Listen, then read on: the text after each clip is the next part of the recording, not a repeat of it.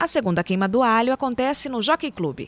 Quem organiza é a Casa de Apoio Lar do Amor. Em relação ao ano passado, tem bastante novidade. Só está doido pedindo mais, então vai vir muitas novidades. A gente vai estar com 12 bandas vai estar cantando. O ano passado foi 5, vai ser 12.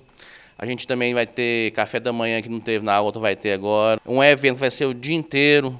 É, é um ambiente familiar, vai criança, vai adulto, vai o pessoal que gosta ajudando mesmo essa causa. A casa tem capacidade para acolher 15 famílias. No momento, quatro famílias acompanham parentes em tratamento.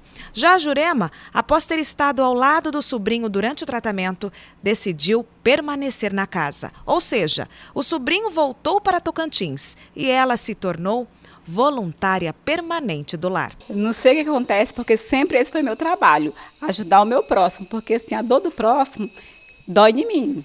Então, assim, se a gente não puder fazer pelo nosso próximo, é de coração mesmo que eu estou aqui. Soraya está em Barretos há quatro anos. Seu filho faz tratamento no hospital. Em eventos da instituição, ela é mil e uma utilidades. É, eu sou bombril, a gente tenta fazer de tudo, né? Para ajudar. Manter esse trabalho lindo, maravilhoso, que é a família Lar do Amor, porque aqui nós somos uma família. Família mesmo. A minha família é essa. A festa começa a partir das 10 da manhã. Além da queima do alho, mais dois pratos serão servidos no almoço: feijoada e comida da roça.